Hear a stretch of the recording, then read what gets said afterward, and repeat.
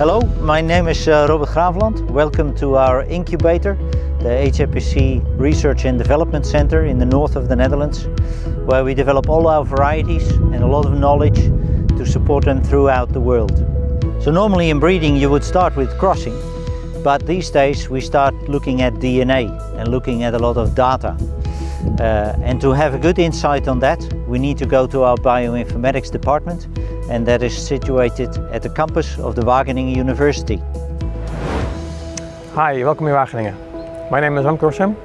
I'm a program leader bioinformatics at HRPC Research. Here in Wageningen, on the Wageningen University campus, we have Wageningen office. Wageningen University is the highest ranked agriculture university in the world.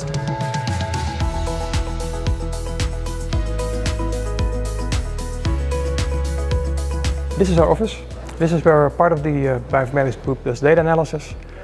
We try to uh, cooperate with other companies and uh, research groups here on uh, Wageningen campus. We're trying to unravel potato genetics, mainly by doing DNA sequence data analysis. And together with the uh, research teams in Metslawier, we try to make data-driven breeding possible. So that's all for Wageningen. Let's now go back to Metslawier. Welcome back at the HZPC Research and Development Station. So we have now seen the DNA, we have touched data, and that enables us all to make the right combination of crossing parents to develop the breeding program. We are now in the crossing greenhouse where we stack all the desires of our customers, of our growers by crossing and stacking the traits uh, to build the sustainable future-proof varieties.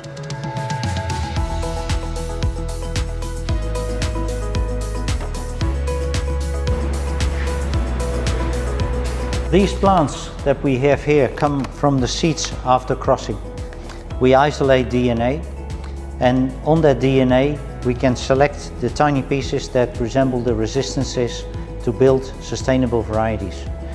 In this way we select only 15% and saturate the breeding volume and that's the start of a saturated breeding program to meet our customer, client and global demands.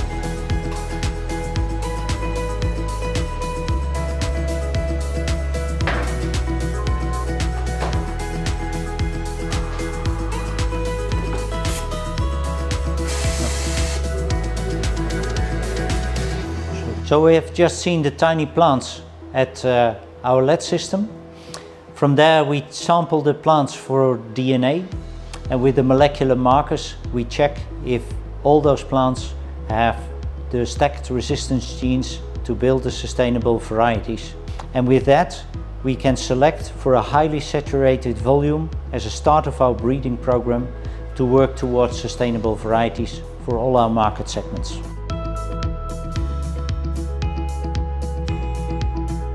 So once we have built that variety as a great variety candidate towards our customers in the market, we bring them in vitro. And that means in tissue culture, certified material, clean plants as starting material for mini tubers. Mini tubers are the start for our seed potato growers, the start of vital seed potato production. So when we have finally built all the genetics into a variety, it's also good to bring that potential to high level. For that we talk about vital seed potatoes. In this piece of research we can measure all kind of biochemical elements and connect them to the vitality of the seed potato.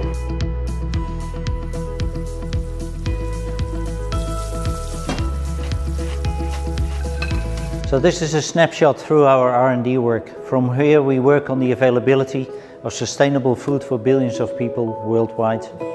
And I would say back to the studio.